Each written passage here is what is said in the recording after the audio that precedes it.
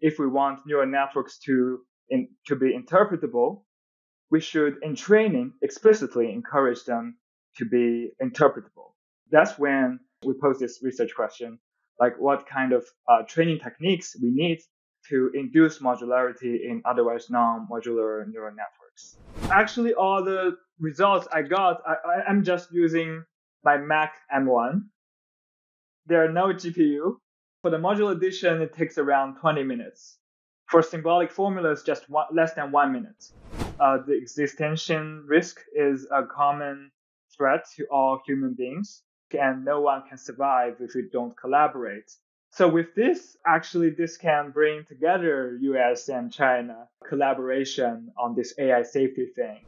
Hello, and welcome to the Cognitive Revolution, where we interview visionary researchers, entrepreneurs, and builders working on the frontier of artificial intelligence. Each week, we'll explore their revolutionary ideas, and together we'll build a picture of how AI technology will transform work, life, and society in the coming years. I'm Nathan Labenz, joined by my co host, Erik Torenberg. Hello, and welcome back to the Cognitive Revolution. Today, my guest is Ziming Liu, grad student in physicist turned AI safety researcher Max Tegmark's group at MIT, and first author of the recent paper, Seeing is Believing Brain Inspired Modular Training for Mechanistic Interpretability. This paper immediately stood out to me for three big reasons. First, any work that makes deep learning neural networks easier to reverse engineer and interpret is, in my view, worth celebrating. The infamous black box problem, which in its simplest form simply means that we don't really know why AIs do what they do, is one of the biggest reasons to worry about what more powerful AI systems might do in the future. And personally, I see mechanistic interpretability work as one of the most promising paths to AI safety. Second, the technique in this paper is conceptually simple, but nevertheless profound. Taking inspiration from biology and the practical physical constraints that favor local connections and modular structures within animal brains, Ziming devised a straightforward modification to the loss function that encourages the development of similarly modular structures in digital neural networks. I suspect that this technique, perhaps more than any other I've seen so far in 2023, left many in the AI research community asking themselves, why didn't I think of that? And finally, as the title, Seeing is Believing, suggests, this paper includes phenomenal visual aids, which very quickly and intuitively communicate both the core ideas and the results, while also inviting deeper study. Given how much I understood at a glance, I was really pleased with how much more I learned by digging in and exploring some of the important design decisions and trade offs that Ziming made along the way. Because this work is so visual, we've taken the extra step of showing the figures in the YouTube version. So if it's convenient, I would encourage you to watch this one on YouTube. If not, you can definitely still get the bulk of the benefit by following the links in the show notes to the GitHub page, which has all of the important animations, to Max Tegmark's announcement tweet, and of course, to the paper itself. Just a couple minutes spent looking at the animations and the images will do wonders for your understanding of this discussion. As always, if you're finding value in the show, we'd appreciate it if you'd take a moment to share it with friends or leave us a review. We'd also welcome your guest suggestions either by email at tcr at turpentine.co or via Twitter DM where I am at Labenz. Now, I hope you enjoy this illuminating conversation about neural networks made sparse, modular, and interpretable by design with Ziming Liu from MIT. Ziming Liu, welcome to the Cognitive Revolution. Yeah, thank you for the invitation. It's my pleasure. Very excited to have you. Pleasure's all mine. You guys have published this really interesting work, Seeing is Believing Brain Inspired Modular Training for Mechanistic Interpretability. And uh, you had me at mechanistic interpretability, but especially when I saw the visual uh, that you guys posted on Twitter, it's so rare to see in AI, you know, the, a, mechanistic work that you can kind of absorb and really start to get an intuition for in just a few seconds. Immediately, I was like, I need to read this uh, paper in its entirety. And uh, obviously, now here we are to, to dive deep into it. So, great job. Very exciting work. You started off with this question What training techniques can induce modularity in otherwise non modular networks? Maybe we could just start there and you can tell us about kind of the motivation and how you came into uh, this line of research. we all know that deep neural networks are uh, successful but hard to understand. So to interpret neural networks, uh, we kind of hope that neural networks can be decomposed into different modules, and uh, like we divide and conquer. Once we decompose net, we divide networks into smaller parts like modules, then they are more amenable to uh, interpretability. But we kind of rely on the analogy to human brains, where uh, in brains, different parts of our brains are responsible for different functions. But what's different uh, for biological versus artificial neural networks is that um, artificial neural networks do not have incentives to become modular. By contrast, uh, biological neural networks have uh, evolutionary reasons to become modular because modular brains are more energy efficient than non-modular brains. That's why modular brains have a selective advantage in evolution, and uh, we human beings today have uh, modular brains. So the philosophy is if we want to make neural networks, artificial neural networks modular, we should, in training, explicitly make them modular. Or, or to gen- even generalize beyond modularity, if we want neural networks to, in, to be interpretable, we should, in training, explicitly encourage them to be interpretable.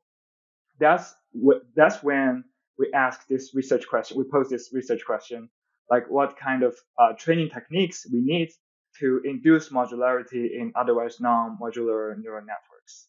And also borrowing the lesson from biology, we ask why our human brains are remarkably modular is because uh, this is uh, closely tied to locality uh, because because our brains, of course, we all live in the three-dimensional space uh, where you can define distances, and to create neurons in your brains, you need uh, energy to create neurons to maintain them and also transmit signals.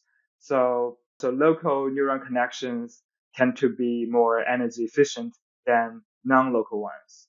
So the, le- the lesson we learned from our human brains is that locality gives rise to modularity. And that is the key trick we used. Uh, that's a key strategy we used in the BIMT paper where uh, we explicitly embed the network into a geometric space where you can define distances.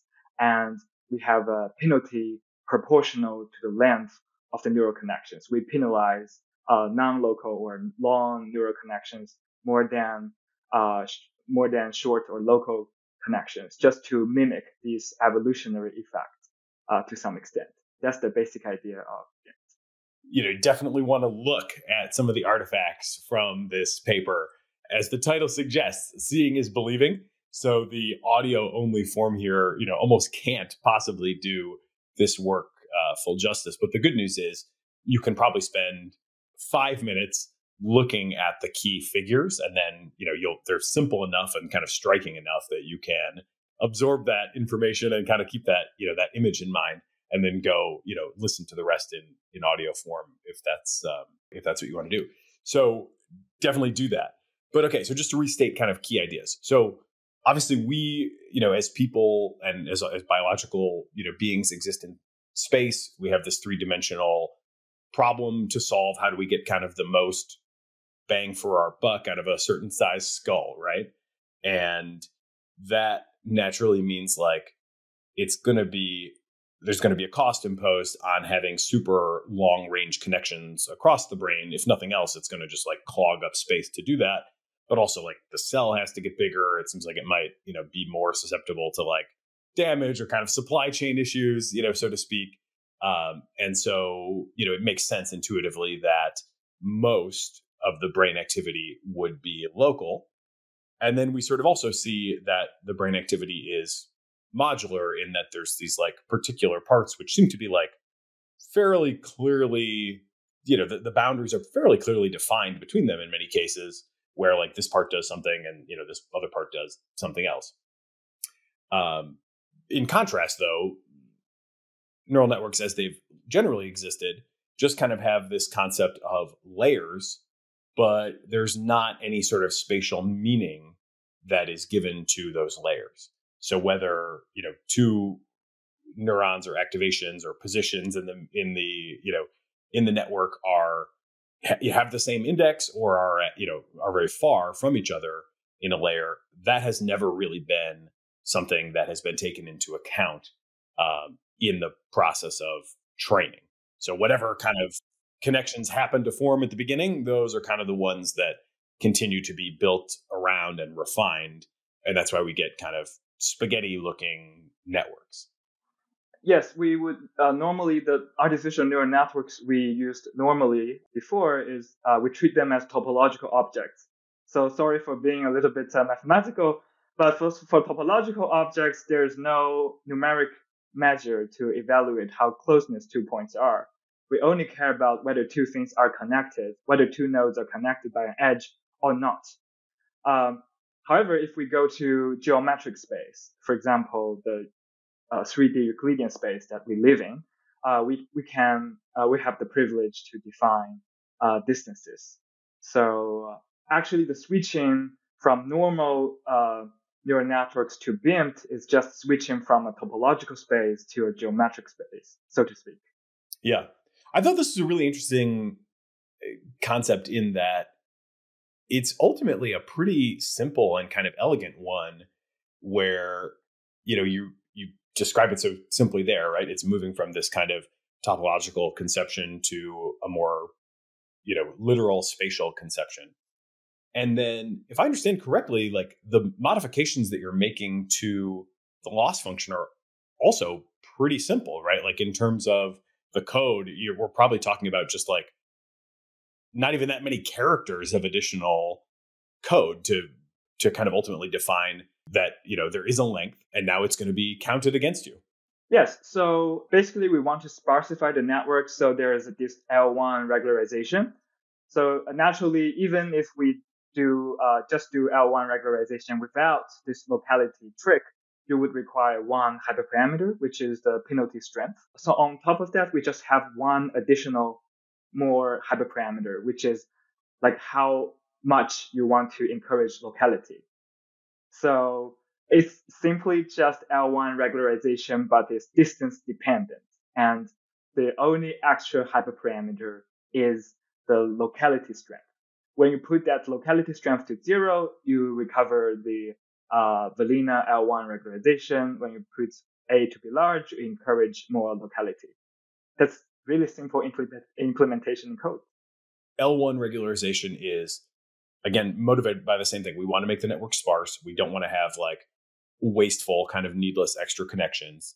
So let's just penalize in this case the weight itself right? Like we want to optimize a loss function that includes both like prediction accuracy but now we're adding on to it and we also want to minimize the total weights in the network overall so all of the weights themselves get summed up into that loss function and therefore when we take the derivative or you know we find the gradient they're all naturally incentivized to go down. All the weights naturally tend down at every step.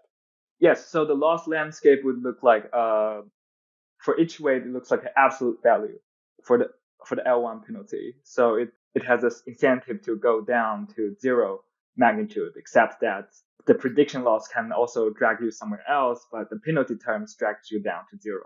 Right so only over rounds of gradient descent, only those weights that actually contribute to prediction accuracy enough to offset the you know the weight that they no pun intended the weight that they are carrying against the loss function actually survive and everything else just gets gradually pruned back to zero so that's kind of traditional l1 and now you're adding on this additional parameter on top of that that is, and you're doing both, right? So you're, you're penalizing the weight itself.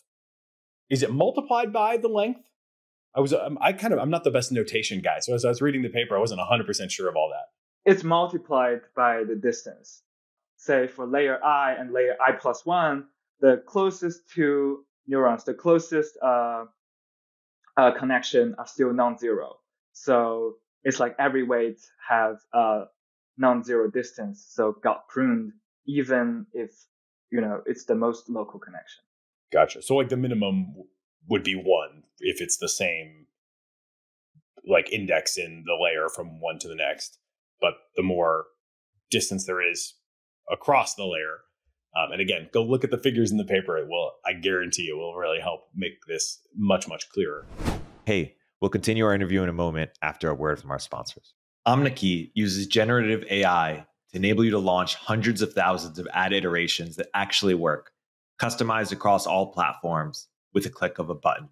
I believe in Omneky so much that I invested in it, and I recommend you use it too. Use CogRev to get a 10% discount. So basically, they can get the penalty can get stronger as the proportional to the length going up. Yeah. So so if you go straight, for example, if you go straight from this neuron to the nearest neuron uh, in the next layer, the penalty is like one. But if you go, uh, if you have some certain angle, then probably the penalty is two. And then if you further tilt it away, maybe it becomes three. So the network have the uh, incentive to uh, to make only the most uh, local connections non-zero. And then just for completeness in in this regularization, uh, there's also L2 regularization, and that is just a little bit less aggressive version because instead of adding the weight itself, you're adding the square of the weight, and that would tend to make a smoother curve around zero, so you're not kind of pulled as hard to zero, and so you get maybe a little less sparsity with L2 than with L1. Yeah, my experience with L2 is that it will shrink the overall weight norm of all the parameters, but not necessarily push down one single parameter to you know really close to zero, so that you can really pr- you can really ignore it, print it away. So like they are well, I think they're engineering tricks that if you really care about pruning, you should try both. They have their own advantages and limitations. Like L1 sometimes have uh, optimization issues because when you get really get down to zero, you bounce back and forth. But with L2, as long as you, your step size is smaller than some threshold, you converge steadily towards zero. Uh, but but also for the reason I I mentioned before, like L2 does not, you know, encourage one single parameter, really drive it to zero, uh, but encourage all the parameters overall have a smaller weight norm. So they're like this kind of trade-offs you uh, want to try when you do engineering. So you run the process with everything that we've described so far. So there's this balance between all the weights are tending to zero, the weights that are that have a long distance on the connection are particularly trending to zero. But of course, the prediction accuracy itself is is maintaining some weights uh, up because you need to make good predictions. And so you run this, and you do indeed find, and you show these images of sparse networks. But then you add this additional concept of neuron swapping, and that kind of takes the the outcome from like sparse to sort of sparse, but also much more symmetrical, much more aesthetic, you know, much more elegant. How did you come up with this idea of swapping? Um, and then we can get more into like understanding it as well. Sure. So there's an uh, anecdote behind it. So when I first try module addition without swapping, uh, the networks uh, looks a little bit like 3D uh, DNA, the double helix but projected to 2D. So, so it looks something like this. Uh, it just swaps and then swaps back. Um, so I was about to try. Uh, so I was thinking if I make these neurons movable, make their uh, embeddings trainable, I should be able to avoid this so-called topological problem. But then uh, I asked my advisor Max Tegmark, and he asked me to try um, something simpler as simple as possible. And so he suggested that I try the swapping thing. That sounds like the simplest thing we could try that can solve this uh, double helix problem. Uh, so it turned out working pretty well. So, so that's why we end up using swapping. But uh, potentially one could also imagine try uh, make those embeddings trainable. And also in hindsight, uh, we think that sometimes the your input and output do not have a natural, you don't have a preferred ordering of your inputs and outputs. you want an automatic way. You want your neural network to determine which kind of order you want. You don't, perhaps you don't want to pre-specify the ordering. So this is a really contrived example. But if your task is just swapping two numbers, so your input is X and Y, X on the left, Y on the right, and then your output are Y and X, Y on the left, X on the right. Then uh, your neural network would have two really long connections, which also cross each other. Well, this is okay, right? Because you can imagine, because you can understand what's happening, um, but it's not aesthetic. Uh, we, we, want everything to become local and modular. So uh, naturally, we want to swap these two things, uh, either the input or or the output, to make them to make the connections as short as possible. Just go straight to where it should go. Yeah, that's the philosophy I think uh, behind swap. But um, for some tasks, we find that swapping does not help that, that much. It's basically just reorganize things a little bit so that the pictures look better. But for other cases, it indeed help, even help neural network training. It help us get lower training loss. Because you can imagine if without swapping, you can, your neural network get stuck at those weird double helix uh, structure. And so you have a large penalty. Uh, a large penalty can, uh, you know, there's a trade-off between prediction loss and your penalty. A large penalty means that you need to sacrifice the prediction loss. So if you can swap these neurons, uh, you know, cleverly to get a more local, con- local connected configuration, your penalty dropped down which means uh, given the same uh, penalty strength, you can get a better uh, prediction loss. So um, there's this hyperparameter like uh, how frequently you do the swapping. Uh, I think I just tried it to be, I just set it to 200 or set it to infinity. But you could imagine that maybe there's a phase phase diagram, phase transitions, like as in physics, when we talk about ice, water, and gas, right? When we tune these hyperparameters, maybe there are different phases that can emergent. Yeah, but, but right now I just uh, set them to be something simple, uh, but uh, more things to be done in the future. And again, just to be super explicit, the the process of this swapping is basically okay. We've been we every so often, every however many steps in our training process, we add an additional step, which just goes down the layers and compares, not even compares, but takes two different neuron positions and essentially says, would loss go down if I just flipped the position of these, where loss is already reflecting the, the length penalty. So you can just do like a bunch of pairwise comparisons and find those enhancements. And essentially, it sounds like that is it's more of an aesthetic, as you said. It's also kind of helping you not get stuck in local minima because and i guess how those local minima would potentially form would be like you have you reach some kind of stable uh, place where the the prediction is like you know pretty good and the length you know of whatever the structure has kind of settled into the length like could be shortened, but there's not really a mechanism other than the swapping to shorten the length if the other weight isn't helping with prediction just yet, right? Like a, a weight that's not active. Like I, I, guess a weight that's not active can basically not really be turned back on in this scenario, right? Is there a we only care about important weights uh, in, in the sense that have a have, have a large uh, value. So actually, we we have we attach each neuron a significant score, an important an important score, and we only care about swapping uh, the top ten, say, uh, important neurons with other neurons to see if such swapping can reduce the locality loss. Yeah, and, and also we constrain like we only swap two neurons in the same layer such that the prediction loss remains the same, but the locality loss may change. And we want the swapping that we reduce the locality loss.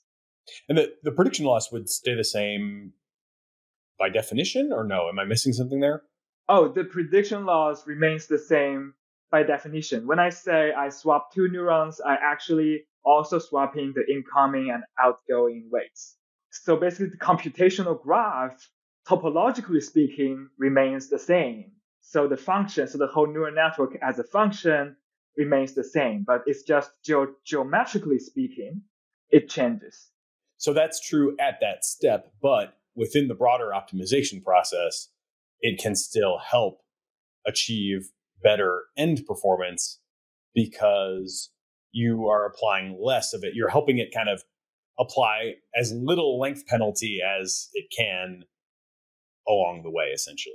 Yes, so that at single point when we do the swapping, the prediction loss remains the same.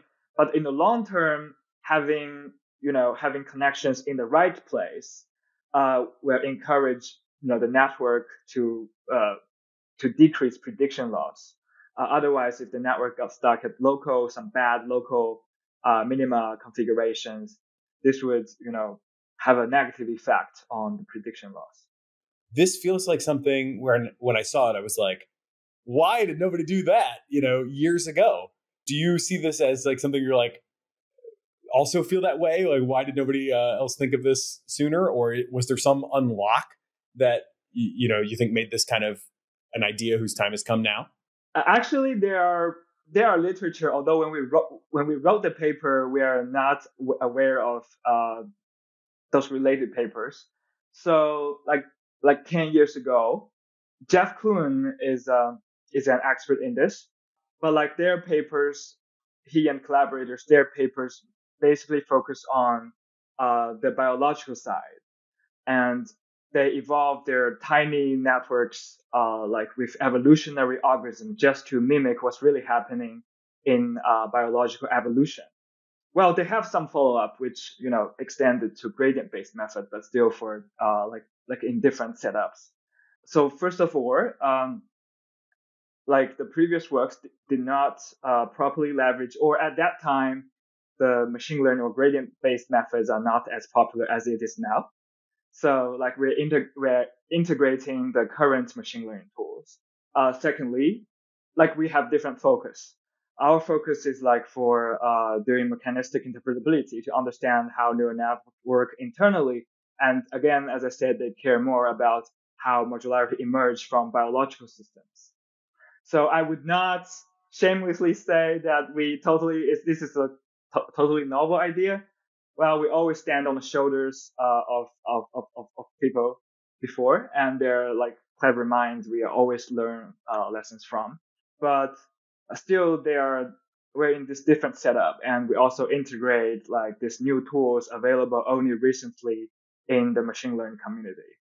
Uh, as long as it's a useful tool, I mean, there's no harm. We rediscover things, right? Because we find it's va- valuable things.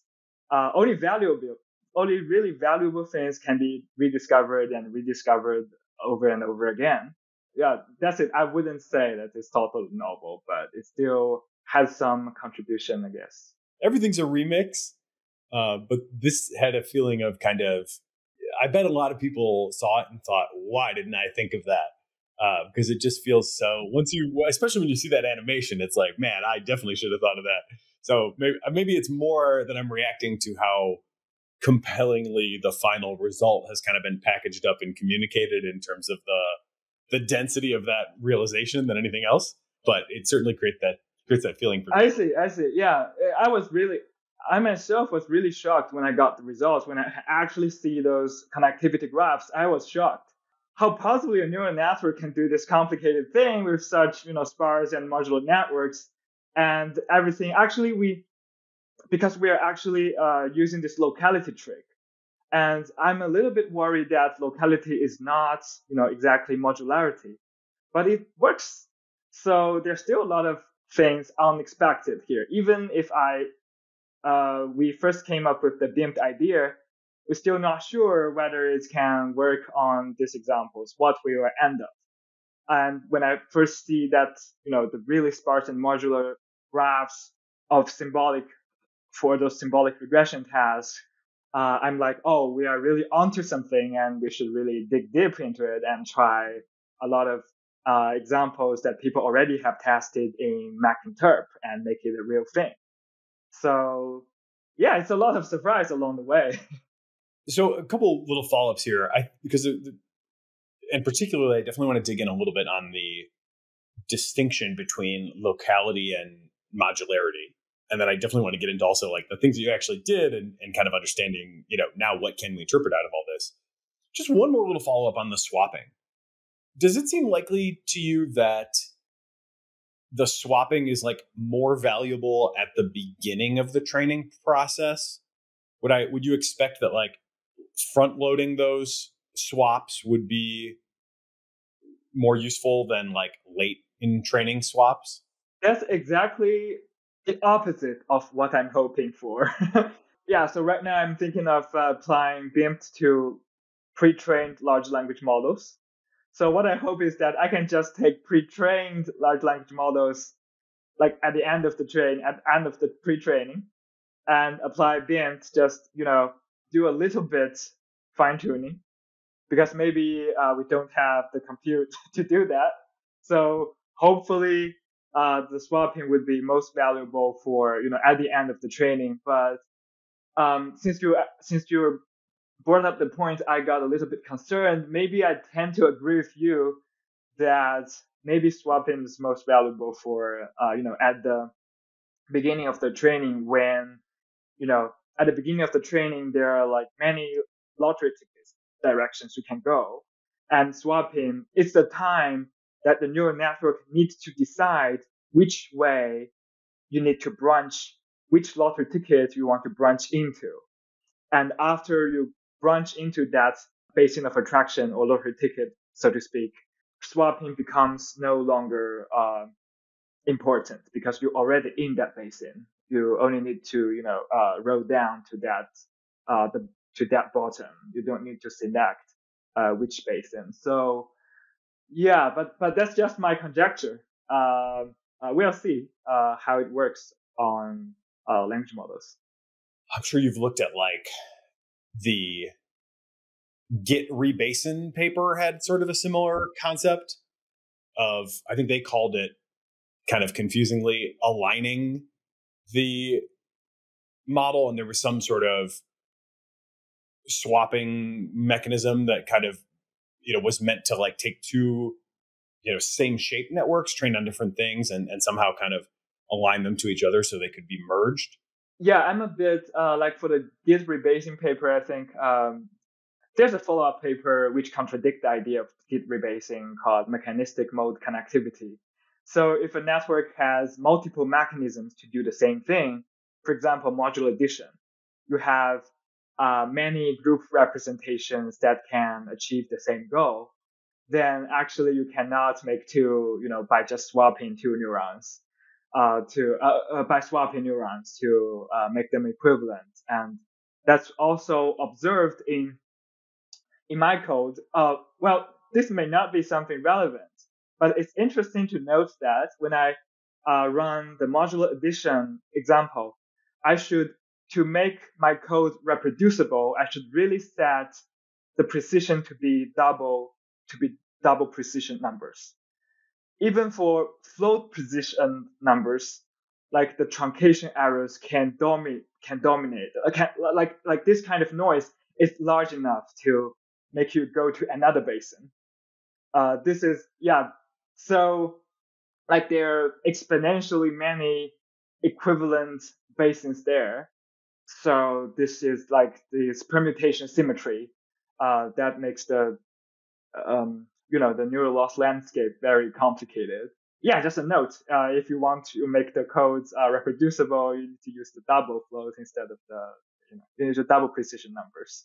And is that 64? How many how many digits is is in that? 64, yeah. Yeah, so if you were to round down to you're saying even at 32 digits, it still has this problem or Yeah, that's problem specific like only for modular addition and permutation symmetry, like for the algorithmic data sets, you need to set it to 64 uh, digits because additional to neuron permutation, you uh, you also have this, you know, representation equivalence.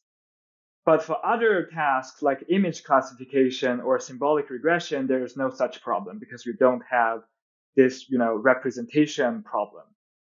But unfortunately for language models, you only need to learn the token embeddings. And there they have such problem.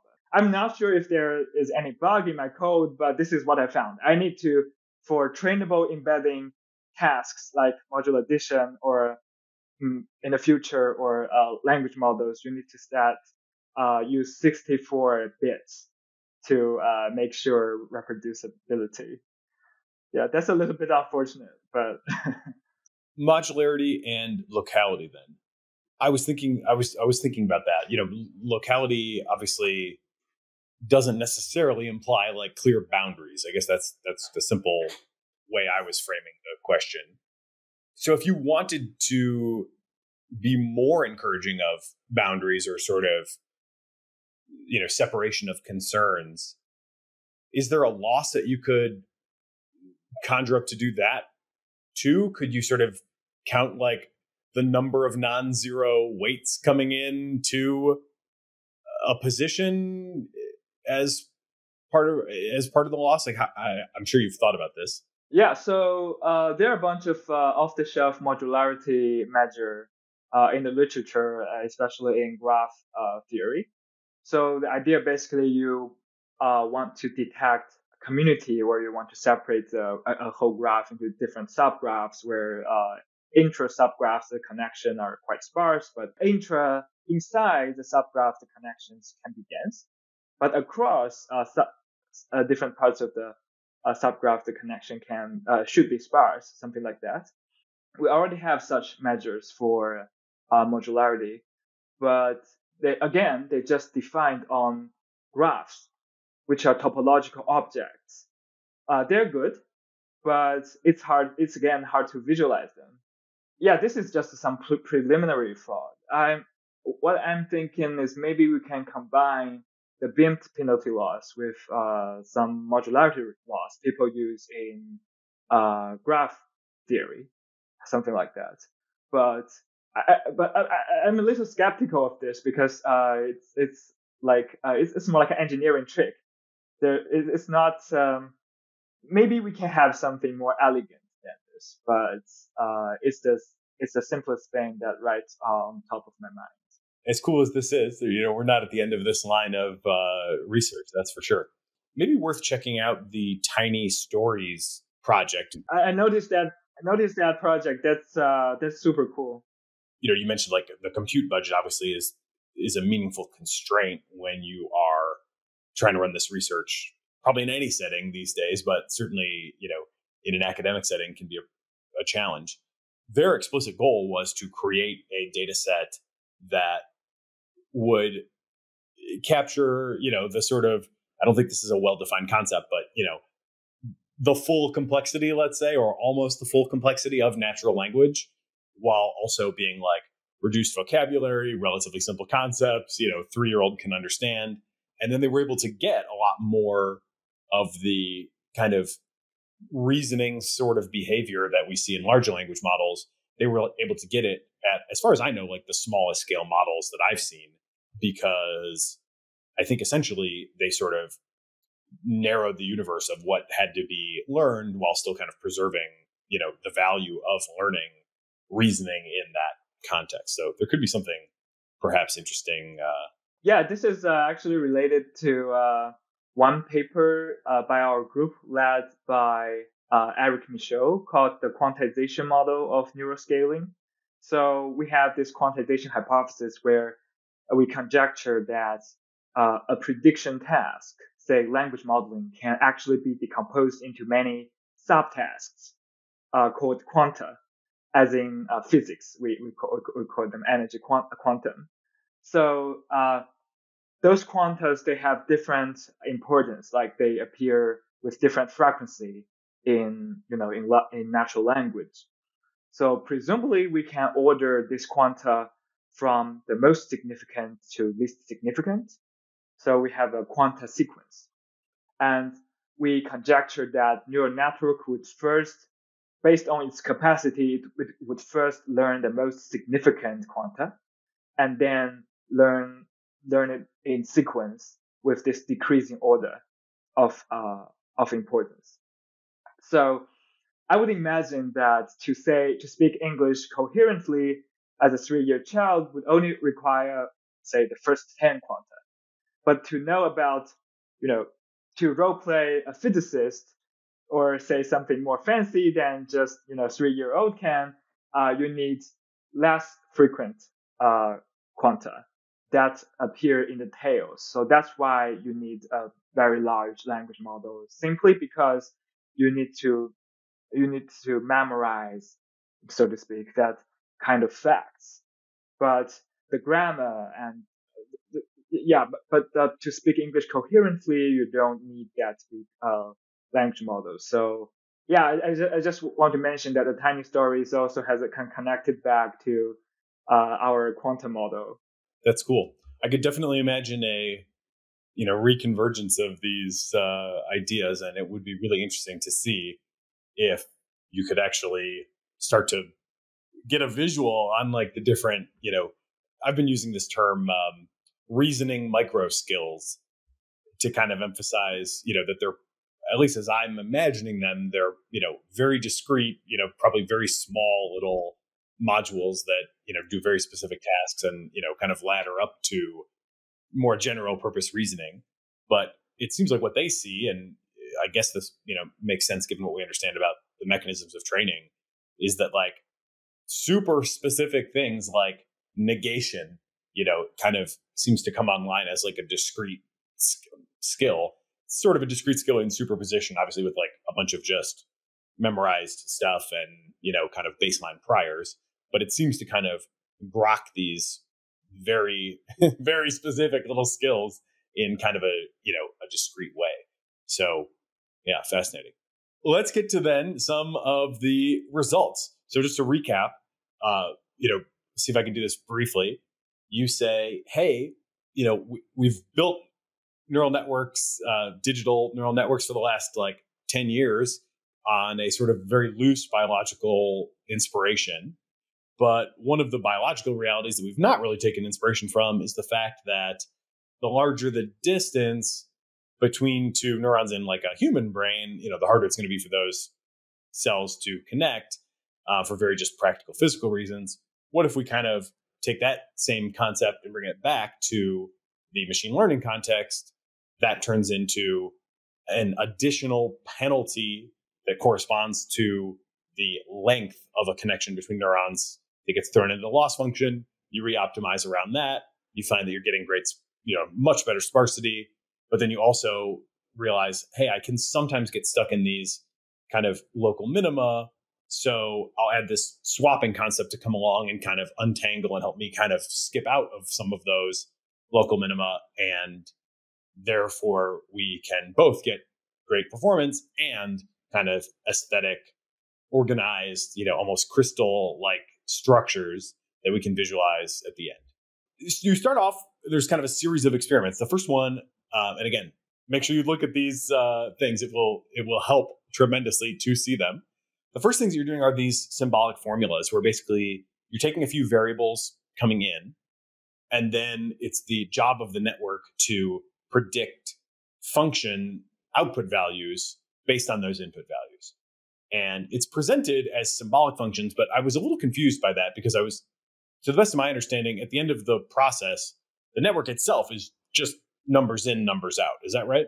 right so we we synthesize the data set you know, with symbolic functions, but we actually input x and y numeric values and output f also in numeric values. But f is pre-computed uh, as a symbolic formula of x and y. So yeah, numbers in, numbers out, everything uh, numeric. Again, look at the graphs. Um, but there's like a in each case, you're kind of demonstrating this conceptual sort of congruence, I guess, between the nature of the functions that the network is learning, and then the structure of the network that you can look at. So, just to be super, super concrete, there is a function or there's a network that's trained on X one, two, three, and four, so four numeric input values. And then it's trained to predict two functional output values. And I was surprised that they're not like super simple. One is x2 squared plus sine of pi x4. That's one prediction. And then the other prediction is x1 plus x3 squared. So in other words, take two numbers, add them and square them, and then take the other two numbers, square one, take the sine of the other, and add that. Okay, that's kind of random. Is there any, should I understand that in any deeper way other than like you pick two random functions and that's kind of that? Yeah, yeah, invariance is the main thing. We, we, we want to see that the network can split into two parts, two independent parts.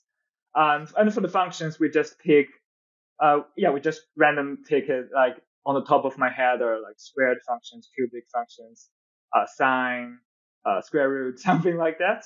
As simple as possible. Okay, so just I feel like I didn't maybe make that as clear as I could have.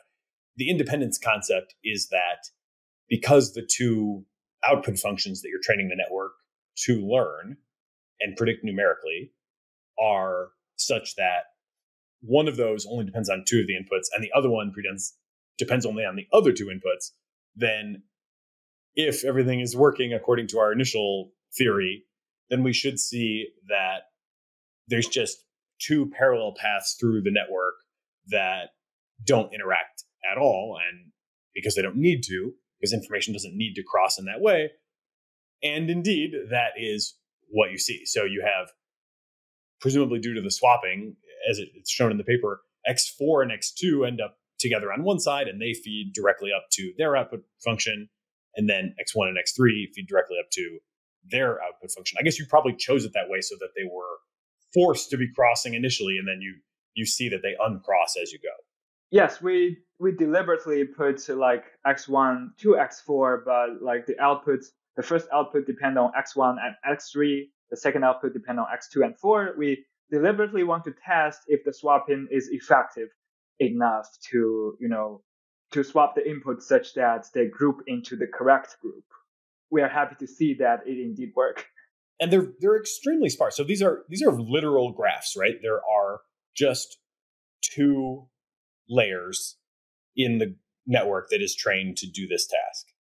Yes, and I I, I did do the test. So so so I did do some pruning test one might be uh, one might suspect that those uh, connections you cannot see can actually contribute a lot, but that's not the case.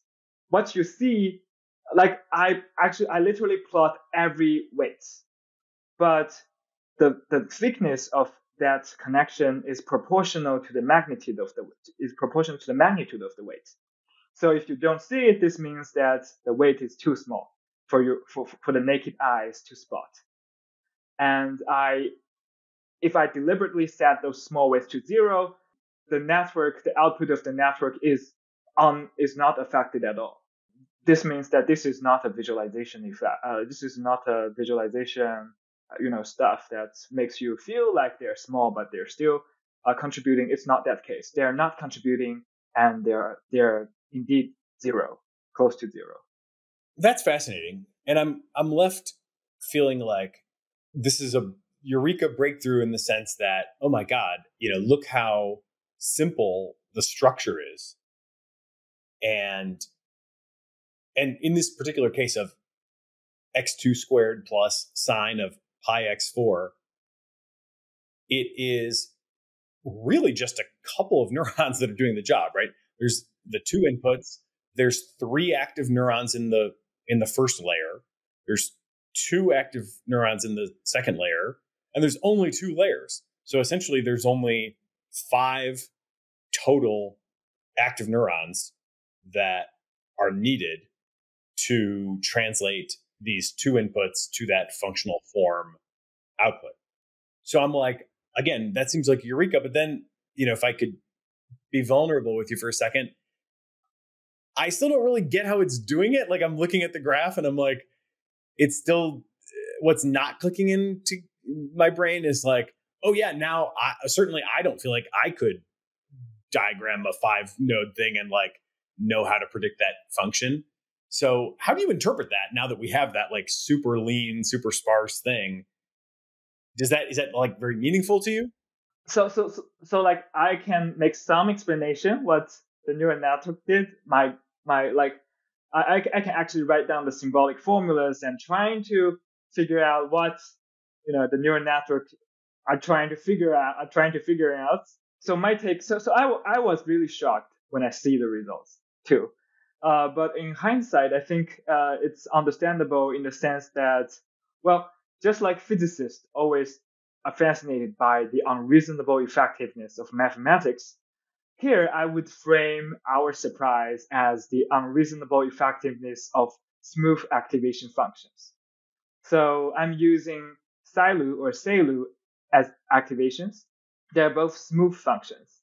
And in applied math, we know that if we want to approximate a smooth function with Fourier basis, the approximation error drops exponentially as we add more and more higher, you know, higher frequency modes. Um, and the statements can also generalize to other smooth basis functions, not just Fourier modes. So SILU or SAILU in our case. That's, well, I understand that's not a very satisfying explanation, but the, the but my take is that wow, this uh, smooth activation functions are uh, remarkably uh, unreasonably effective.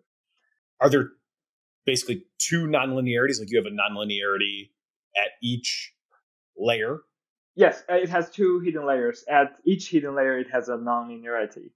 If people know any activation function, they might know the ReLU function, which is zero if the value is negative, and then just you know y equals x if the value is positive. So it looks like straight line, and then a sharp corner at zero, and then a straight line going up. And the SILU function is essentially a, a curvy approximation of that, which remains differentiable at zero for one thing. Right, right. So basically, you have a ReLU function, but you drag you, drag around zero uh, to make a you know to, to make a well there. Uh, so SILU now becomes non-monotonic, but asymptotically when x when your input is very small, negative, or very large, positive, the asymptotics are the same as ReLU, but it's only around, it's just that around zero, it's, it's differentiable. So if you were to use ReLU, did you, I assume you tried ReLU and it doesn't work? Is that a safe assumption? That's a good question. Actually, somehow I never tried ReLU. uh, yeah, it's, it's my unreasonable craze for SILU or SAILU. when you said it's the unreasonable effectiveness of the smooth activations, you're confident enough that this is the better activation function. You don't even need to try the old one. Right, right. Uh, and there are papers like uh, proving that with SILU or SAILU, this kind of smooth functions, you can construct you can construct like quadratic functions or multiplying two numbers with just two or three neurons.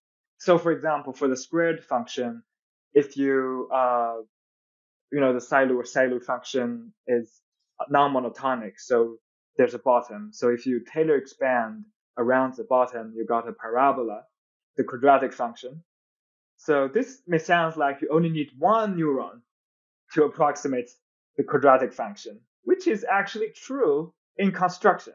But in practice, what really happens because the chance of being initialized around the bottom is very low.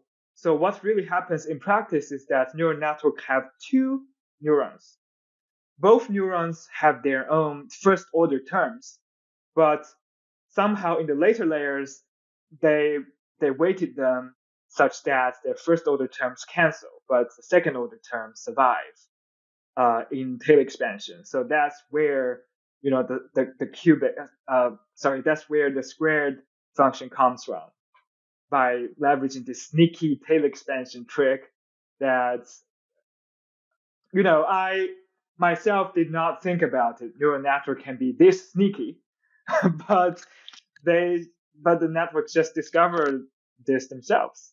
So it's a little bit shocking to me. Like in some sense, uh, neural networks are more uh, clever than myself.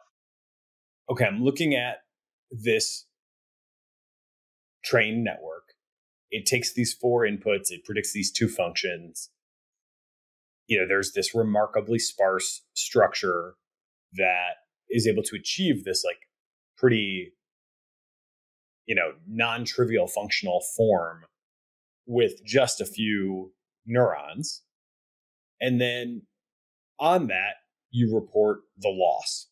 And the loss is on this particular thing i guess it's actually this it's the joint task of the two predictions but nevertheless the loss is 7.4 e minus 3 or 7.4 times 10 to the, the minus 3 i guess we can jump down to the bottom right there you guys have some uh, uh some graphs in the appendix that kind of show this. I was just trying to figure out like what does that loss mean in terms of is it like really tightly fitting the functional form or is it kind of loose around it like how how close does it actually come to learning the functional form? Yeah, so I have the same concern when I just look at the loss function.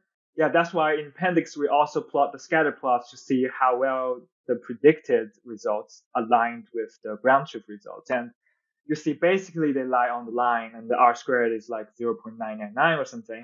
So, so that's pretty good. But said, said, that, uh, still including this, uh, penalty can also still degrade the performance. Because as I said, to approximate the quadratic function, uh, well, you, you can approximate a quadratic function acceptably well with just two neurons.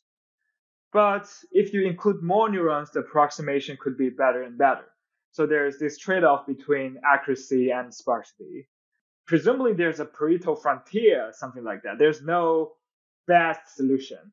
There's a Pareto frontier of the solution trading off between accuracy and sparsity. And choosing lambda, I mean choosing the penalty strength actually make um, make us move make us move along that Pareto frontier. Maybe I set lambda to be small. I didn't try it. Maybe I should.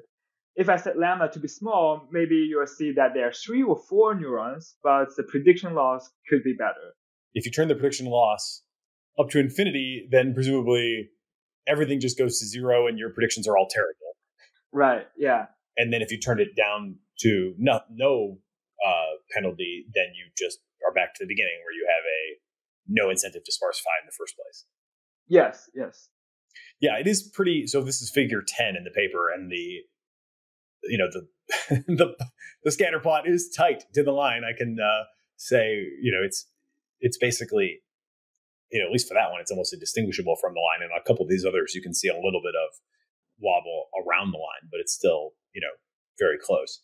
Do you have any sense for how this works when it comes to like all of these inputs are on the on the interval minus one to one, right? Did you look at what would happen if you just started to go a little outside of domain on the input? Could you like just would that like ruin everything? Yeah, good question. I honestly I didn't try that. I would imagine it will fail. Like I don't believe in like hmm, I don't think in, in these problems they're like systematic generalization it's not it's, it's like uh, we have no information about the outside so the network at most can you know just do interpolation in uh, in the range we trained on so that's my guess that's maybe a good bridge to start to move into you know because we're still kind of climbing the ladder of complexity in these experiments right the first one is purely it's you know synthetic data set derived by these symbolic functional forms, but the network itself is just taking numbers from some narrow interval, predicting essentially the curve. We see that amazingly, it can learn to do that with just very few active neurons, and we attribute that to the unreasonable effectiveness of the smooth activation curve. But then we could still ask, like, okay, we're seeing these kind of conceptual notions that we designed into the problem reflected back to us where like you know when we set one up so that in theory we could have two completely distinct subgraphs indeed that's what we get and when we set one up with feature sharing where like you know one of the outputs only depends on one of the inputs and the next one depends on two and the next one depends on three. Again we see like the right information flow that you know aligns to our expectations. And then you've got the third one, which is compositionality, which, you know, starts to look a little bit, you know, even more tangled, but like, you know, clearly has some some parts that I see as kind of interpretable where like it, it appears to me that like a square root function, you know, it kind of consists of like much like a square function consists of like one neuron going to two and then back to one. So we see these like little motifs that kind of pop up. And that's all super interesting. But then you could still ask, has this grokked anything, you know, that's kind of can, you know, more conceptual than learning, you know, the explicit shape of a curve? And your expectation is no. But maybe in some of the later uh, experiments, that starts to become more relevant, right? So I mean, even you cannot generalize outside the training data, it's still interesting to understand like so I guess what physicists believe that all the theories we have are effective theories. It's only valuable, it's only valid uh, within you know in certain energy scale, so to speak. Yeah, even with even if we cannot generalize, there's still a lot of uh, interesting things we can say about the at least for uh, uh the task. Cool. So the next one I think again is a really nice little visual. The two moon classification problem. You've got a, a bunch of points in a 2D space. They're color coded for the viewers help in interpreting them. The model itself doesn't get that in, it only knows like the, the position, right? And then has to use the position ultimately to make a prediction of which class the data point belongs to. And it has to learn this kind of curve that separates these two you know, almost overlapping, but not quite overlapping shapes. And so indeed it does that. And again, you see like a pretty sparse result. I was a little bit just struggling to interpret the last graph there where there's two numbers in, right? The XY coordinate, and then there's the out of like, but it seems like all the all the nodes are going to class one and like class two has been sort of left. Yeah, that's a very interesting uh, observation. I was surprised by how clever neural networks can be. Uh, uh, when, when I saw the connectivity graph. So for binary classification, what really matters is like the difference of the logits of the two classes. Uh, that is the relative magnitude, but not but not the absolute magnitude. So an efficient strategy for neural classifiers is to simply set class A to always have a zero logit, while only learning uh, the logit function for another class B. Um, and a positive logit for class B means that the classification is B. And a negative logit for class B means that the classification result is class A. So if we also look at the evolution of the whole thing, the evolution dynamics is actually very interesting. There is this intermediate phase where you see that both classes have output logits. They have network connections to uh, the outputs, and they're almost symmetric. But as training goes on and the pruning, uh, more and more weights are got pruned, you see that the network learns to be to transit from this symmetric phase to the asymmetric phase because the asymmetric phase is more energy efficient, uh, cause uh, requiring uh, fewer neuron connections. Yeah, so, so so so so it's very interesting to see that there's actually this phase transition uh, at first it's messy, uh, everything fully connected, and then in the middle in the middle state, they're like the sparse network and also symmetric with respect uh, symmetric for the two classes.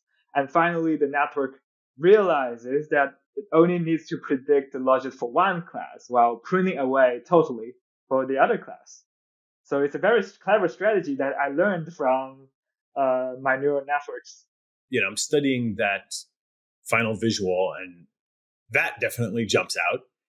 It's basically, you know, reduced the dimensionality of the problem on its own to just having now to choose make one prediction instead of two effectively. I don't have any other immediate intuitions for the shape of what I'm looking at. Is there anything else you could say about that? So it, they're sparse. What's good about sparsity is that now you can, you know, that they're just seven, if I remember correctly, weights uh, in the graph. So you can just intervene any uh, important weights or neurons to see what it did to the prediction results. I'm guessing because this, the problem is too simple, uh, it does not have any meaningful structure to emerge. So maybe the whole thing itself is a module. So that's why we don't have very good explanation for uh, for it because itself the whole thing is a module and we don't have a good we don't expect to have a good explanation for internal activations inside modules. Yeah, especially for something as kind of arbitrary as learn to separate two.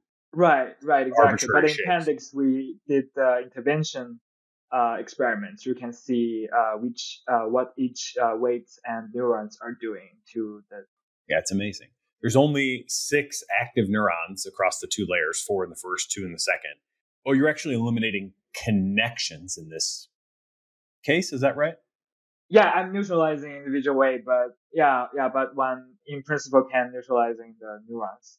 Yeah, and and, and also uh, uh, one thing to note is that well, if you change random seeds, the the graph would look completely different. That's another sign that there's no consistent modularity. Uh, but if we move on to the modular addition case uh, in the, the, the, the, next example, you would see that no matter random seed you have, you always, you almost always have three parallel modules emergent. So there, uh, so, so this is a more consistent thing you can say about the task. Yeah, random seed also play a huge role here, but my take is that if there's a consistent structure in the task, no matter what your random seed is, you should, for the most time, you should be able to find it. And in the least, uh, in the most difficult case where like only some of the random seed can find the structure, that's also fine. You can just select the most interpretable. You can just run a hundred models with different random seeds in parallel, and then select the one that you think you uh, you feel most interpretable to you, and you go from there to do MechInterp. It seems like we probably could graph, maybe even in just closed form. Again, I'm not amazing with all the linear algebra notation, but either either in closed form or at worst, like with just a mesh of points, you could kind of graph the value of class one as kind of a z axis over the two, you know, inputs and kind of get a visualization for like, oh, essentially you're learning a sort of elevation landscape. Yeah, that's correct. So in Pendix, we write down the symbolic formulas explicitly. Well, basically just to uh, extract those weights and biases and uh, and write them down into a symbolic formula. So yeah, as you said, in principle, you can plot the you know 3D surface plot like that. That may be more intuitive to see, but uh, this can all you know in principle one can do that. So yeah, there's no. It makes sense then that there's not any super interpretable you know there's not like a two sentence summary of this because it's an arbitrary shape. It's almost like you just kind of sprinkled some stuff out there and it had to kind of learn this particular shape but that's not like a super principled problem in the first place. Yeah or using the language of the quantization model i mentioned before the task itself has only one subtask. So there's no need to modularize itself. If we're dealing with some compositional tasks like language modeling that actually involves many subtasks, then there you have the incentive to like grow those modules for different abilities. But this two moon classification or later, uh, the transformer example on linear regression, they're just, you know, one single task.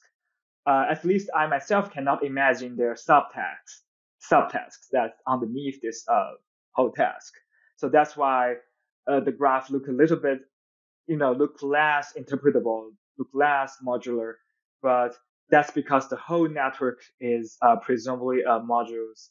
Uh, it's probably a module, and there are like this degree of freedom kind of thing that make the graph looks messy.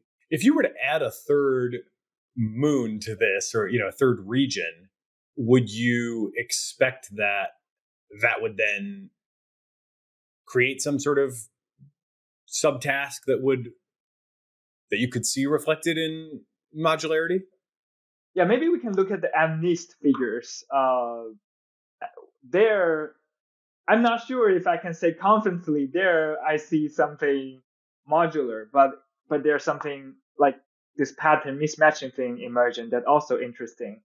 But I I can't say for sure that they are uh, meaningful modularity there.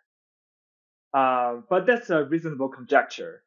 Maybe like classifying between one and two is a subtask, and then two and three is another subtask, and yeah, and then you can do the you know classifying three things by combining this binary classification tasks. I think that's a reasonable conjecture, but still need to be tested. So next, modular addition, one of my favorite problems in the world, due to all of the uh, mechanistic interpretability focus on it. The big questions I had on this one were is this doing the same thing that we've seen kind of prior interpretability work demonstrate that um you know a grokked uh, network is doing is it solving the problem in the same way uh, that's a very good question. Uh, actually, we have a follow up work that's still not, we're still working on it. So the short answer is yes and no.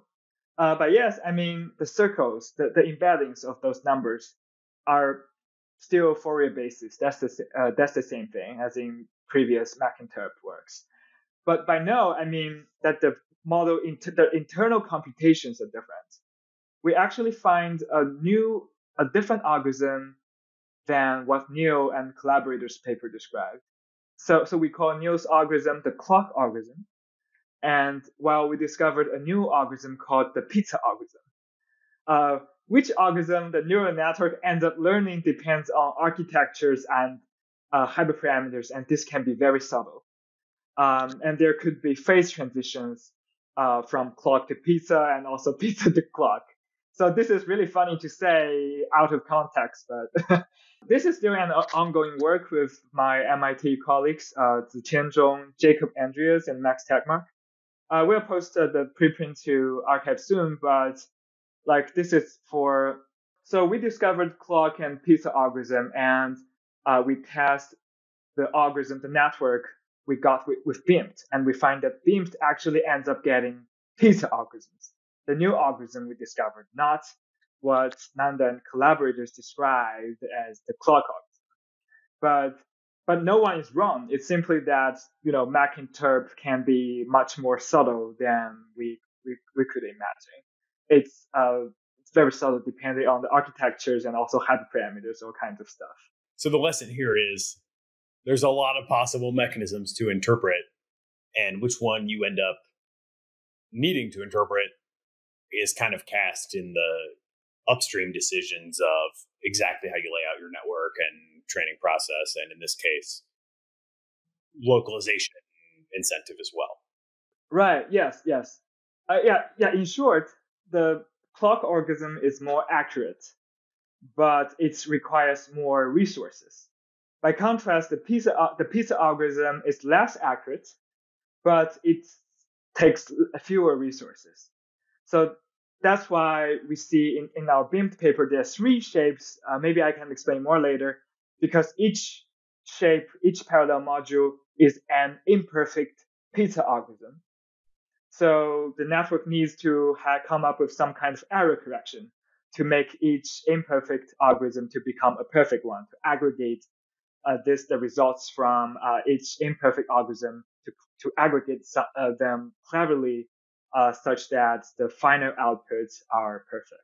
So that's the uh, takeaway. We hope to we, we, we, hope to post the preprint to arXiv soon. And uh, is there a simple? So I mean, the clock algorithm is you're doing modular addition. You take advantage of the cyclicality of you know the modular math, and so you sort of say, okay, I'm going to rotate some, and then rotate some more, and then if I get past the origin, you know, I'm naturally kind of the position that I'm at. Doesn't matter how many times I went around. It's just kind of the final position, right, that I need to look at. Right, right, right. But by contrast, the pizza algorithm adds, you know, two numbers so that, uh, so so the final prediction is more like slicing pizza, slicing pizza, and determining which pizza slice the outcome uh, lies on. So the frequency of the pizza algorithm is like is doubling the frequency of the clock algorithm or the other way around. I, I, I can't I can't remember exactly, but like there's this this uh, tiny detail there that actually distinguish between clock and pizza. If you don't look carefully enough, for example, if we use the metric uh, Nanda and collaborators uh, used in their paper, we cannot distinguish uh, clock and pizza algorithm. We came up other metrics that can distinguish between these two algorithms. So there's still like this kind of metrics. Uh, each metric is a coarse grained or drop some information of the whole system. So even if two things are, are different, but you grain too much, you end up getting the same thing. You cannot distinguish two things. So, so my takeaway from this, there's still a lot to be done in MechInterp. At least, uh, we need to come up with more, you know, metrics to really distinguish those algorithms. Yeah, I'd say we are just scratching the surface.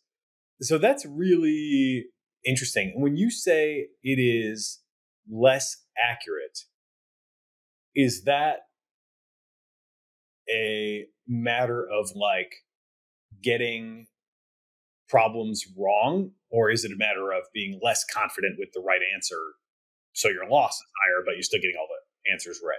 So when i say clock algorithm and or pizza algorithm both algorithms have their perfect versions and imperfect versions. So what we end up getting in experiments are their imperfect versions. And the imperfect versions can uh, make wrong answers on some samples. But it can be supplemented by and complemented by another uh, imperfect algorithm which make wrong answers on another sub- subset of samples. Uh, if you have enough number of sufficient number of uh, imperfect copies, at least one copy would give the right answer on every sample. So by aggregating the results, finally the final aggregated result would make the correct prediction on every sample. But uh, for one uh, head or one you know uh, parallel module, it can only make prediction correct on some subset of all the samples. So you essentially train n copies of this tiny little network, and then you find that I guess due to random seeds, they sort of cohere in different ways. Each one represents an imperfect approximation of the ideal algorithm. And then in, in aggregating them, you can kind of get good performance, even if they have their individual weaknesses. Uh, I mean, we don't explicitly have this n copies. We just have a whole network. But we can somehow disentangle and find that automatically there n copies emerge from training, which is all really fascinating. And this is again an example of where I think, oh, maybe neural network is more clever than myself. Uh, it leverages kind of error correction. Is that what is meant by voting? Yes, exactly. Okay, so uh, as we're looking at this graph, and again, it's not that big, right? We're talking about two hidden layers. So that is to say, inputs, two hidden layers. Again, I assume each with a nonlinearity as part of that layer, and then outputs. There's not really that much room to do the work here. Um, I'm always kind of through every graph in this paper leaves me feeling the same way about that. And then each of these, as you look at it, it's just clear that there are like three distinct modules that go from the inputs up to layer two, and then at layer two, it's basically all kind of fully connected. It looks like again to the output, but those three distinct sections are you're saying now I'm understanding these shapes more deeply. So each of those is an approximation, and I guess you can see that because you can do the ablation. You're still like Yes, so each copy is an algorithm that tries to perfectly do the modular addition but fails. So somehow the neural net, at some point, the neural net fig- figures out that, oh, it's more expensive to form one perfect copy of a single algorithm. So instead, I resort, I uh, form like three copies of imperfect algorithms and somehow aggregate or, or some sort of majority voting uh, to get the end results. And how literally do you understand that concept of voting? I'm always I always push really hard on analogies because I find I confuse myself as often as I clarify things for myself. Yeah, so the terminology voting uh, actually comes from, so we borrow the term from uh, error correction uh, in, in um, as in information theory.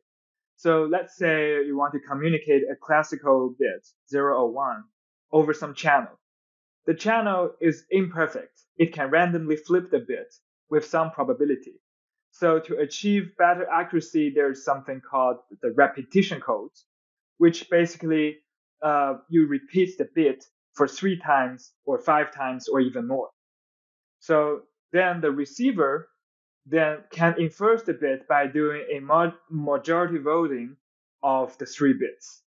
The probability of making an error reduces exponentially as the repetition times grows larger. So this analogy of repetition codes also applies to module addition here. Uh, each shape or each module is an imperfect algorithm of module addition.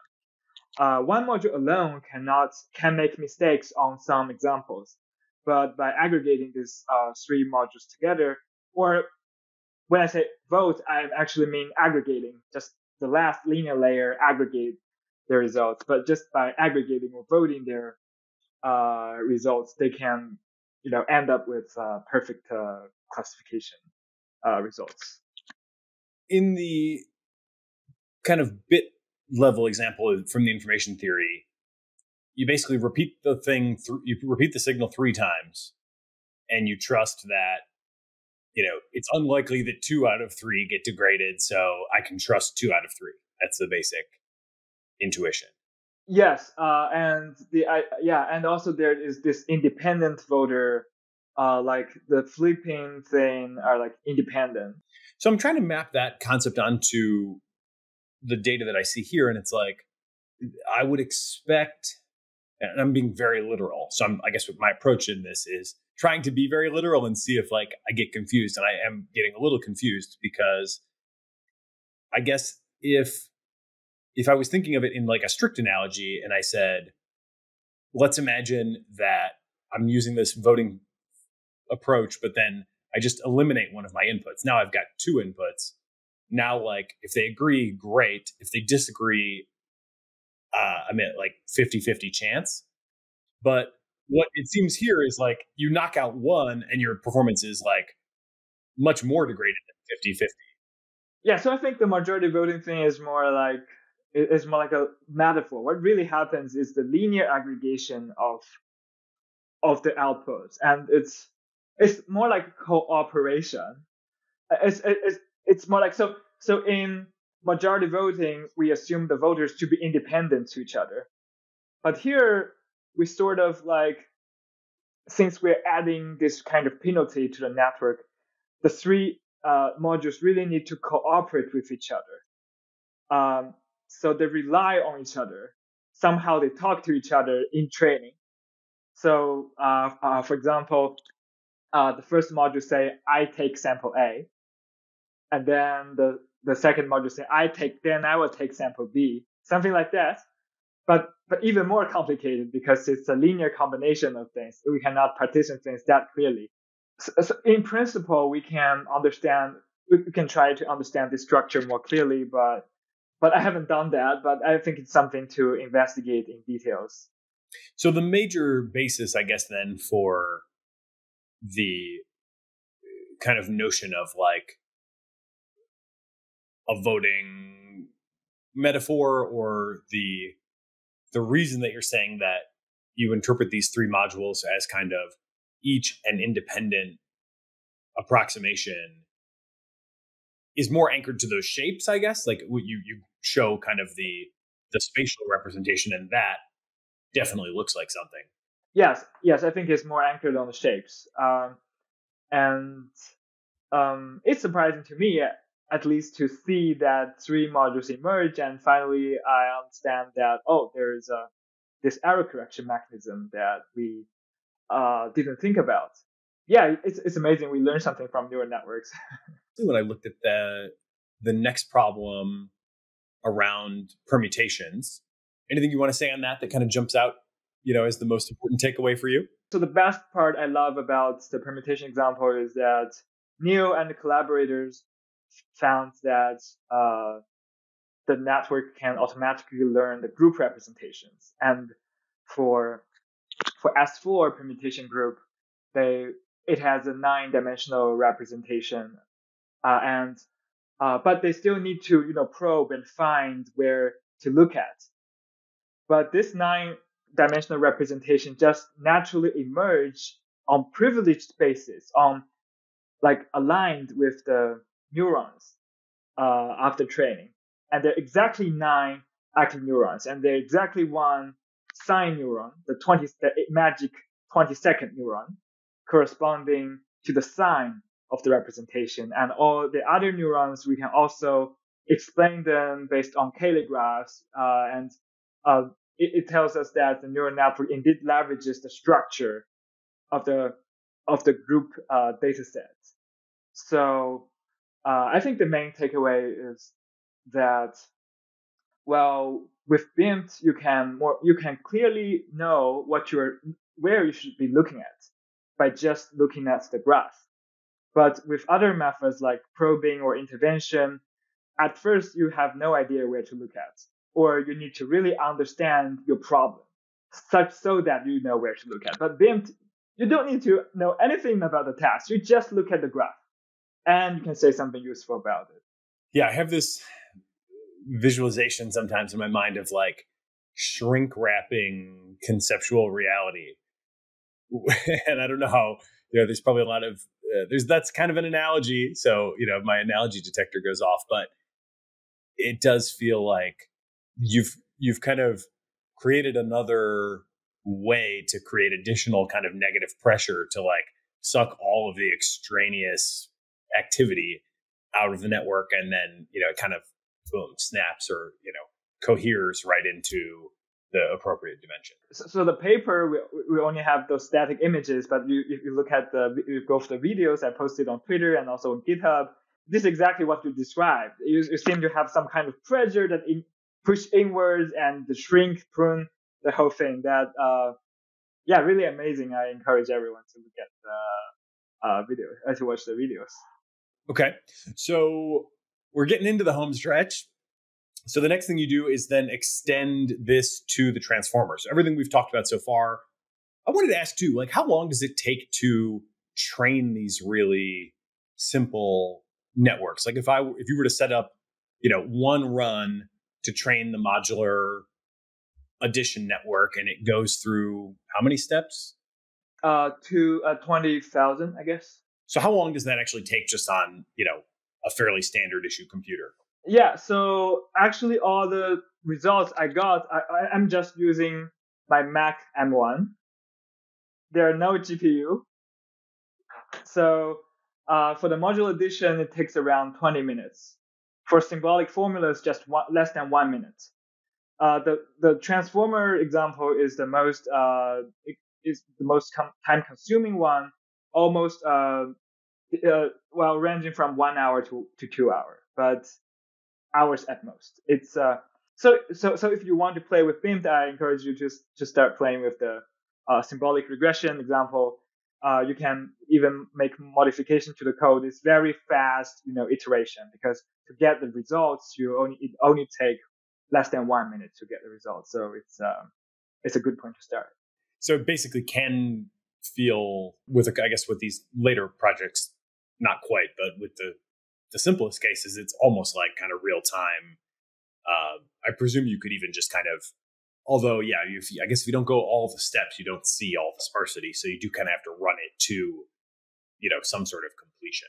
You mentioned the the transformer portion. Um, it wasn't entirely clear to me. Are you modifying the attention mechanism as well as the fully connected portion of the transformer?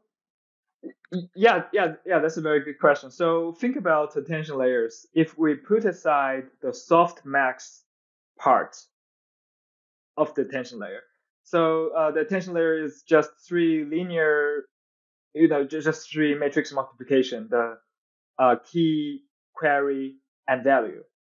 So this linear matrix, uh, we can understand them as a linear layer with zero bias.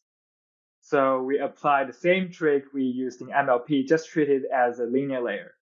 And uh, yeah, so so attention layer, the softmax has no parameters, so we don't have to worry about that. We just need to deal with this linear matrix as in MLPs.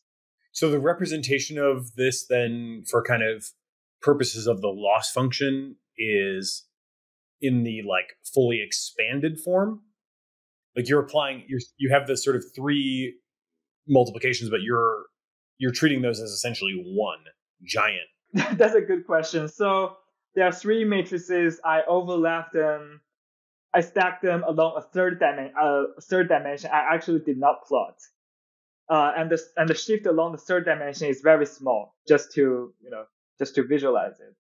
But like because query key and value, they're actually in some sense they're equivalent, so there's no sense to separate them in space. So they're overlapping each other. But visually, you can think of them uh, separated by a small amount uh, along the third dimension. Would this have a for kind of scaling up purposes?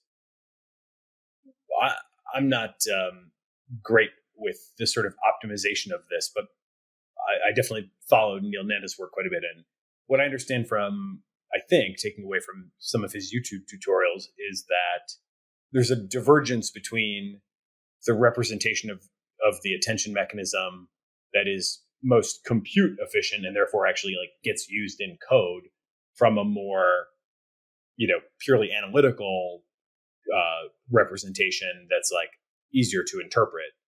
And if I understand correctly, you're using, you're applying the penalty in a way that works on that more analytically sound, like not separated, um, but maybe like less compute efficient representation. Do I have that right? Or am I going off track somewhere? Uh, sorry, what do you mean by low compute representation here? So you had said a second ago that the sort of multiple matrix operations that constitute the transformer mechanism in analytical terms are not really separable but they are in practice they are sort of coded separately as i understand it for efficiency reasons. I, I see i see. So i treat them i treat them independently. So the penalty is added in and calculated in such a way that it would that the process of calculating that penalty would scale it would the, the whole process would still scale just like a normal transformer scales? Yeah yeah exactly. There's no additional overhead in this. Can you maybe just help develop a little bit more the intuition of how exactly should i understand the locality penalty in the context of attention? In the in the above like simple graphs it makes total sense. It's just okay 2d space boom i got it. Is there anything more that I should kind of be intuiting for the attention version? Yeah, so that's a very good question. Actually, it takes a lot of it takes at least some uh, sort of modifications to make it work, to make BIM work on uh, transformers.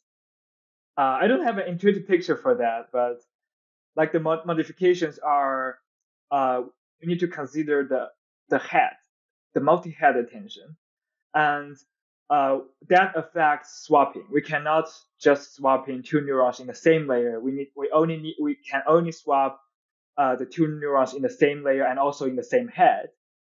But we can also swap two heads as a whole. We can we swap two heads, and the residual stream is another pain in the ass because with the so, so so with the residual stream this uh, the residual stream the, the, the neurons got aligned uh, so the permutation in along the residual stream are, are are in some sense locked. So their permutations are not independent. The residual stream in different layers they share the same permutation uh, they, they share the same permutation. And that may also be uh, one thing that make the network uh, less interpretable or less uh, local. And that's kind of presumably related to like superposition or not not really i guess. You could, basically the idea is that there you would have to untangle if you're going to swap you'd have to swap at every layer of the residual stream. Yes if you swap you need to swap every layer of the residual stream. So that uh, sounds to me like um, uh, like a constraint, it's, it's, it's a, I think it's undesirable because if you have these constraints, you, you have to consider all across all the layers, so you cannot untangle some non-local connections in some certain layer because you need to consider everything uh, globally.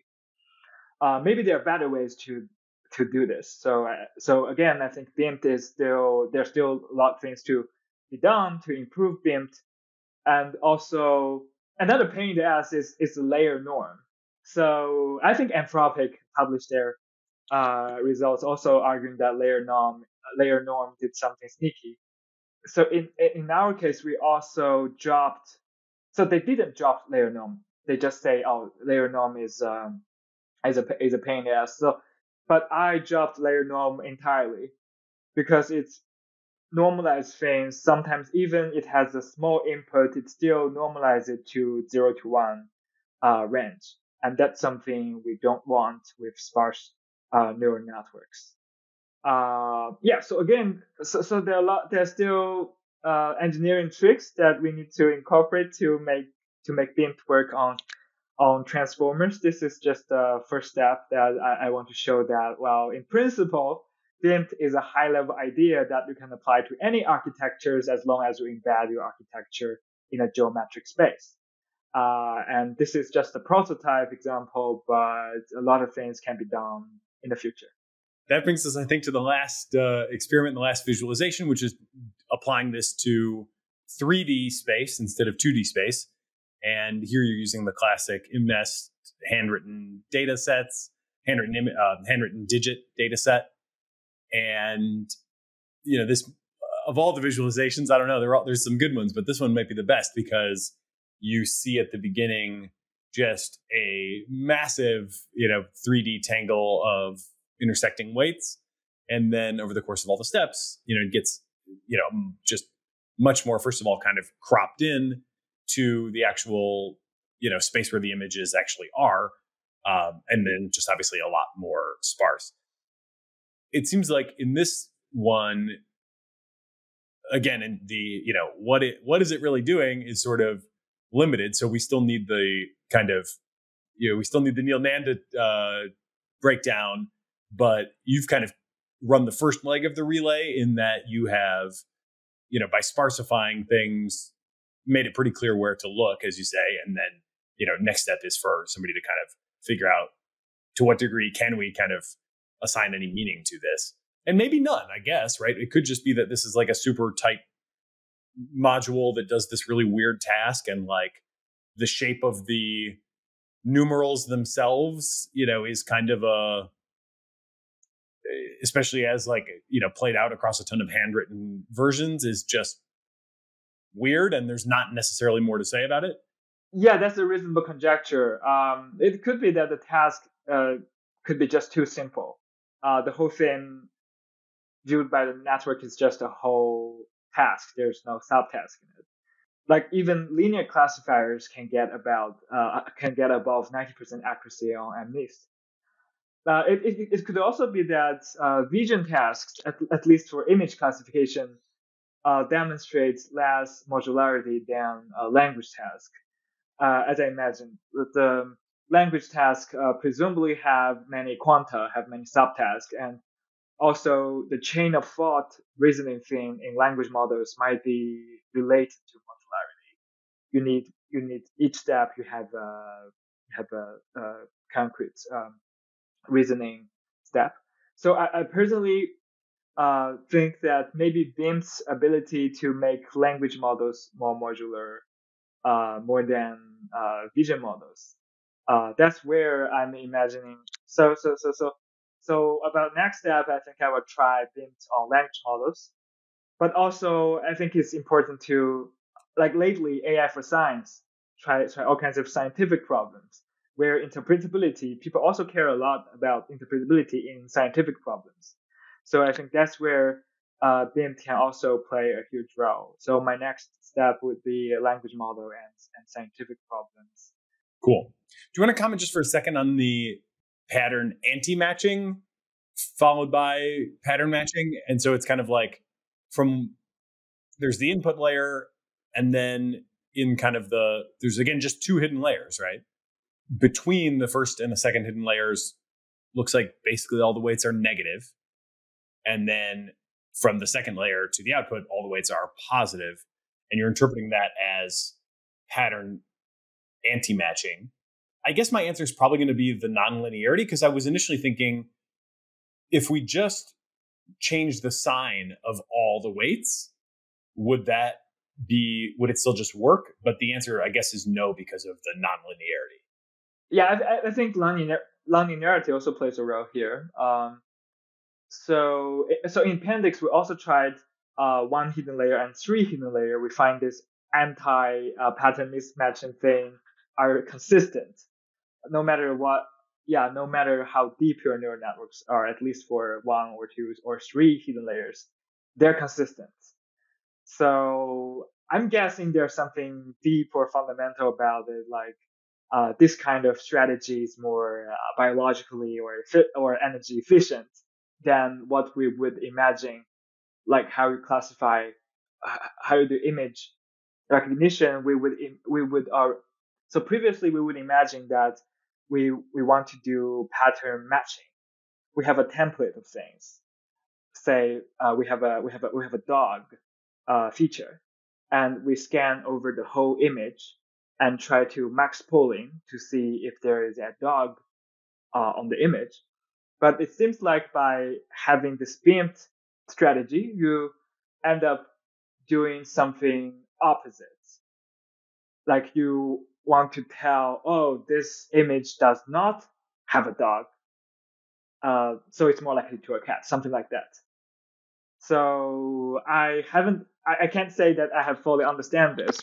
There, there's still things to be understood. Anything that you would add, you know, just to kind of wrap things up on the paper front before just asking a few more general questions? Yeah. So one thing I still want to note is that about about the next direction, you mentioned tiny stories. So that's one direction I'm uh, I'm looking to lately. Uh, one thing I'm hoping that uh, BIMT can achieve on tiny stories, which is already achieved for module addition, is that the learnable token embeddings have privileged bases or better aligned with coordinate bases. For example, uh, there's presumably a direction in the embedding space corresponding to color, say uh, with unprivileged spaces, you need to try really hard to search for that color direction and then project token embeddings to that direction. But there are actually infinitely many possible directions. But with privileged spaces or with BIMT, very likely there's just one dimension of the token embeddings corresponds to the color dimension. So you, you can just obtain that direction by enumerating the finite number of uh, the embedding dimensions. So for, but yeah, one thing I'm thinking about whether it can scale, whether BIMT can scale to large uh, networks. So my only concern so far is that it might be harder to visualize the whole network. This is apparent uh, difficulty. But other than that, the way I'm seeing it, I don't see any, you know, deal breaker here. I don't, I don't necessarily see any uh, factor that blocking it from scaling. I'm actually doing another interview with one of the authors of the megabyte paper that has kind of the hierarchical approach. This seems like it could sort of play nicely with that as well, perhaps, although I don't quite know how.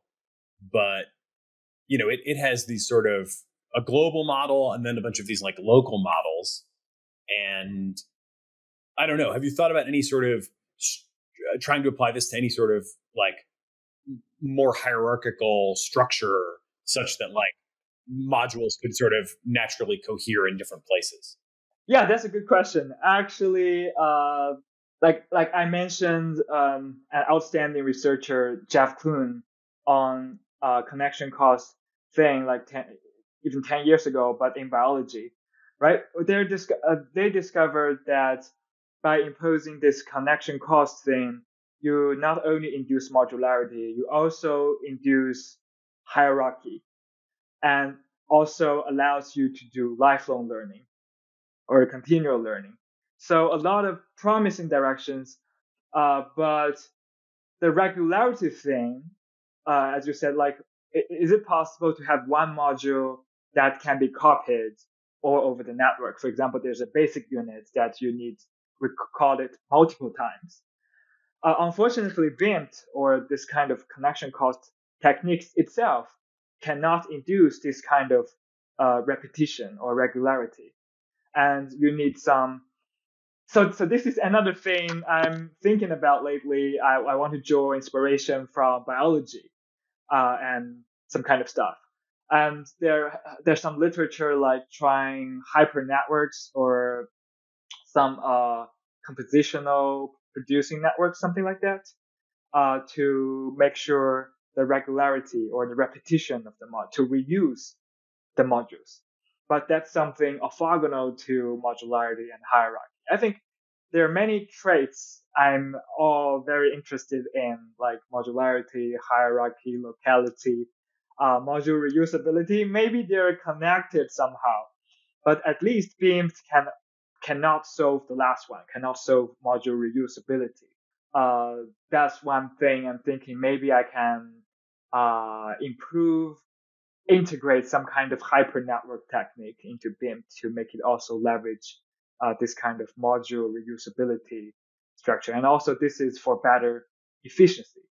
If we can decompose a network into different motifs, we only need to restore those motifs and how these motifs connected to each other. We don't need to, you know, store the motifs, store the same motifs for thousands of times.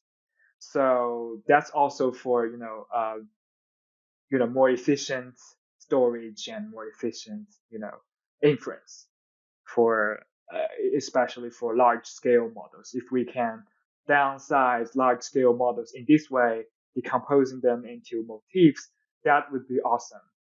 And the inference time efficiency gains, at least on these like toy models, are pretty huge, right? I mean, if if you you run the fully connected version versus the like say you take the the sparse version and actually prune it and you just only have the fewer weights at the end presumably it's like under 10% the compute cost at inference time so if we uh, explicitly sparsify the network after training the inference time would be uh, very much reduced like in the module addition example like the three parallel modules emerge from training. We don't know a prior that there are three uh, parallel modules, but they just emerge. Uh, with that, we can make them parallelizable. For, for example, we can run these three modules in parallel and then use one machine in principle, and then use one machine to aggregate the whole results. So if this kind of parallelization can also generalize to language models, that would be fascinating because because then the inference time can be saved. Uh, you can leverage the like the, the all sorts of uh, uh, multi-threading or uh, parallelization techniques we have at hand to make sure that the um, uh, you know the, the inference uh, the inference time and inference uh, memory can be saved uh, by a large margin. That seems extremely compelling, actually. You, so Max Tegmark is your advisor uh, he is not, you know, for most of his career has not been in AI. Did you? Did he already like make the switch into AI, and then you joined the group, you know, after that switch, or did you tell tell me the story of like working with somebody who's obviously got some special ability but is new to AI? I, I cannot recall the exact year Max switched to AI, but I joined the group after Max switched to AI. And when I joined the group, we are still focusing on uh, AI for physics because because Max uh, used to be a cosmologist, has strong background in physics, he has a the position in Department of Physics. So and, and also I got admitted to the Department of Physics at MIT. But uh, like I did research on AI for physics with Max uh, for two or three years. Uh, my yeah, I'm in my third year uh, right now. And then Max sort of decided to, to switch entirely the focus to AI safety, MechInterp specifically, because like trained as physicists, we think that we need to first fully understand something so that we can, you know, fully control it. We can fully keep AI systems under control. It did, it did no harm.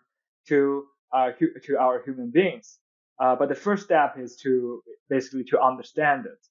Yeah, I've been uh, admirer of his work for a number of years, and it's been cool to see that he's been so flexible and um, you know adaptable, and obviously has you know been able to uh, attract some bright minds to the group to uh, do some exciting work.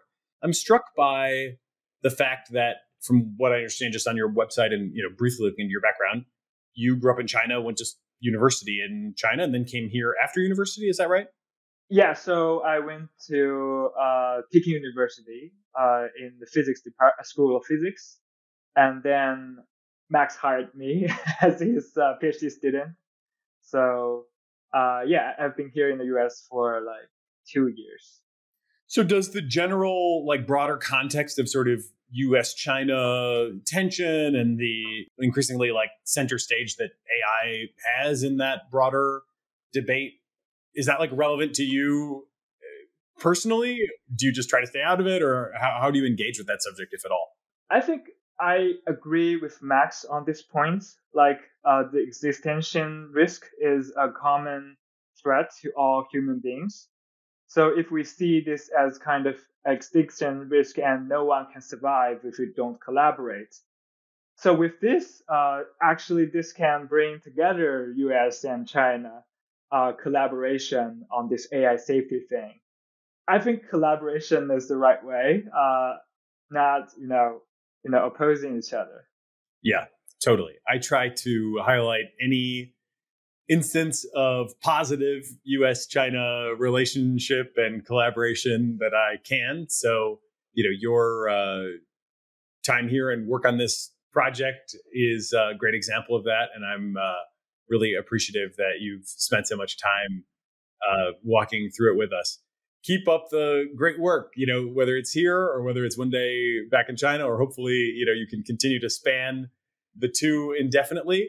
Uh, you know, we certainly need a lot more of this ability to understand, uh, because, you know, as I think you guys put it very well, understanding is, um, you know, usually a uh, precondition for control and everybody has a shared interest in figuring out how to control these systems so we can get the best from them and uh, and avoid the worst. Yeah, sure. Thank you so much for the invitation. I um, yeah, it, it was a great uh, speaking to you, and uh, have fun with your family. thank you very much, Ziming Lu. Thank you for being part of the cognitive revolution. Omneky uses generative AI to enable you to launch hundreds of thousands of ad iterations that actually work customized across all platforms with a click of a button. I believe in Omneky so much that I invested in it, and I recommend you use it too.